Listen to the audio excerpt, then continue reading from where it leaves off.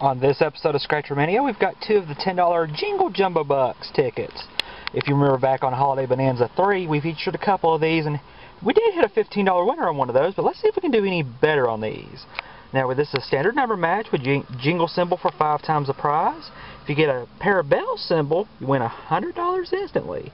See if we can snag something real nice on one of these. We got 1, 14, 34, 37, 36, and 12. 1, 14, 34, 37, 36, and 12. Let's see if we got any of those or any special symbols to go with that. There's an 11. There's an 18. There's a 19. There's a 21 and a 10. There's a 22. A 30. A 13 a 38, and 23. Nothing on those first two lines. Let's see if there's anything on the first, on the bottom half, excuse me. There's a 25, a 3, a 9, a 14. Hey, we got a match. All right. We got one number match there. There's a 29. There's a 35. Got a 28, a 20, a 6, and a 31. Alright, we got one number match. It's the, let's see here, what was that number match? 14, there it is. Sorry about that, having a crazy moment there.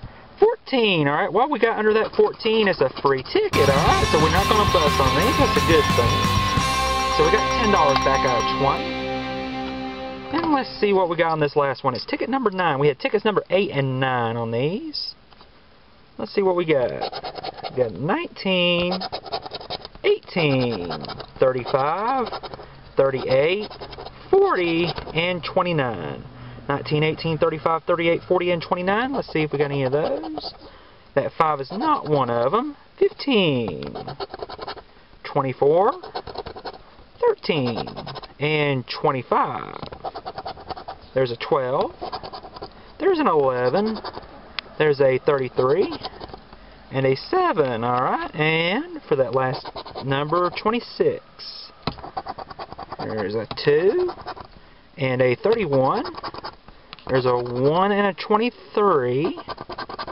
A 22. There's a 20. 36. 37.